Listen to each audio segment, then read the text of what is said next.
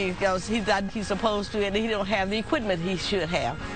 But the equipment a man had landed him in jail after police get a call that he's cutting down power lines. Neighbors knew something wasn't right by this man's bold actions. Good evening. I'm Melissa Fry for Brandy Peterson. Yeah, I'm Rob McCartney. Omaha police say a man targeted a storm victim posed as an Omaha Public Power District employee. He is 53-year-old Kevin Goodwin, now accused of cutting downed power lines at a home. The arrest serves as a warning to anyone who has storm damage. In the Big Story 6, KETV News Watch 7's Alex Hoffman reports on how you can avoid becoming a victim.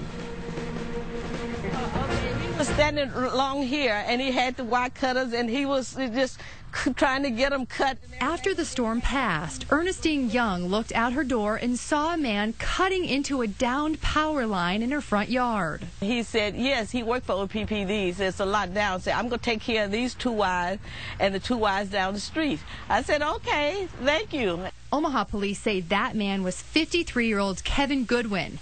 He claimed he worked for Omaha Public Power District. Young didn't buy it. He don't look right to me because he's not dressed like he's supposed to and he don't have the equipment he should have. A watchful neighbor agreed and called police. Officers arrested Goodwin on site, finding bolt cutters, scissors, pocket knives, and a pair of pliers in his pockets.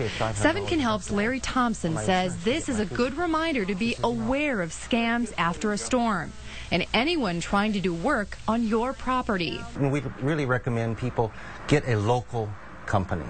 And I, when I mean local, not one that just has an address, that actually is established here in the metro area. Thompson also says don't pay 100% of the cost up front.